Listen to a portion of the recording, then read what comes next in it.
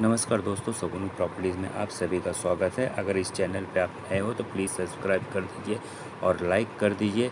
आइए मैं आपको मुंबई के हमारे एक प्रोजेक्ट पे लेके आऊँ जो कि वडाला इलाके में है और इसका नाम है लद्दी सी ब्रिज। ये 35 महले का बिल्डिंग है और इसके इसका नाम सी ब्रिज इसलिए रखा है क्योंकि ये समुंदर, इसका व्यू जो है समुंदर की तरफ़ दिखता है।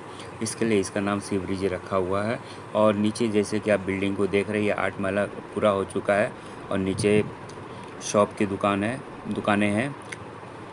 आइए मैं आपको अंदर की तरफ़ लेके चलता हूँ। और हम आप आपको डायरेक्ट लेके जा रहे हैं आठवें फ्लोर पे। ये देखिए, ये जो सामने का लैंड है, ये कस्टम का लैंड है और यहाँ पे कभी कोई प्रॉपर्टी खड़ी नहीं हो सकती है, कोई भी प्रोजेक्ट खड़ा नहीं हो सकता है क्योंकि ये दलदल की ज़मीन है और सामने आपको समुंदर देखने को मिलेगा।